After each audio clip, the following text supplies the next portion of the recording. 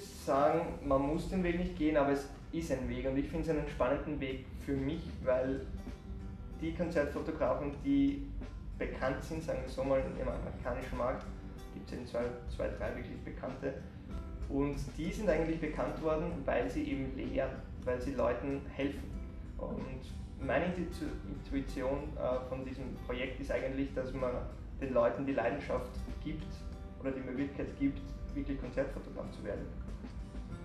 Nicht mit dem Anspruch jetzt, dass man unbedingt davon leben kann, aber einfach, dass Leute sehen, okay, es ist möglich und es ist am Anfang wirklich schwierig und es gibt eigentlich relativ äh, wenig, mh, mm, ja, sagen wir so, es gibt wenig Leute, die darüber schreiben, wie man es wirklich macht. Und meine Idee war, dass ich eben ein E-Book schreibe drüber und das ist so eine Schritt-für-Schritt-Anleitung, wie ich halt vom Anfang an Konzertfotograf werde, welches Equipment brauche ich, was muss ich beim ersten Konzert beachten, was ist eine Presseakkreditierung, was ist eine, äh, ein Fotogramm, bis dahin gehen, wie kann ich meine Fotos vermarkten und wie gehe ich mit Bands auf Tours. Und genau, das ist eben so das, das Gesamtkonzept. Ich würde sagen, es ist kein Muss, dass man es macht, weil wenn es jetzt jeder machen würde, wäre es dann auch wahrscheinlich nicht mehr so sinnvoll. Aber es ist auf jeden Fall ein guter Schritt oder, oder eine gute Richtung, die, die ich für mich gegangen bin, weil ich mir denke, ich will den Leuten helfen.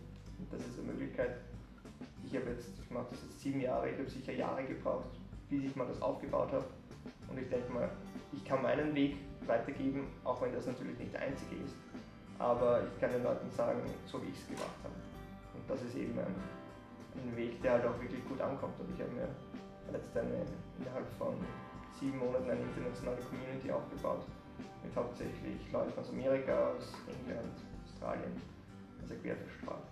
Und es macht einfach Spaß, wenn man sieht, dass Leute auch Erfolg damit haben und sagen, ich habe das E-Book gelesen und ich habe jetzt mein erstes Covershooting und sonst wäre es ein Gang, danke für den Support.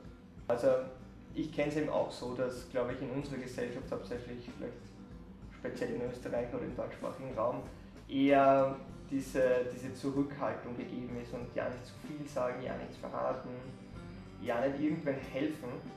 Und ich gehe aber total den komplett gegensätzlichen Weg, sage ich einmal, der aber komplett normal ist in Amerika. Weil in Amerika, die Leute helfen sich einfach, die Leute sind motiviert und keiner hat eine Angst, dass ich jetzt da irgendwas äh, zu viel verrate.